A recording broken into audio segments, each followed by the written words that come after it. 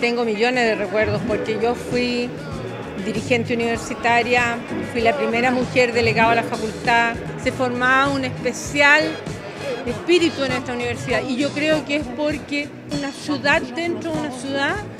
y eso te permite, ¿no es cierto?, salir a, la puerta de tu facultad y, ver cómo pasan los otros, como siempre históricamente fue el caso de los estudiantes de Derecho, que nunca nosotros salimos de nuestra escuela a clase.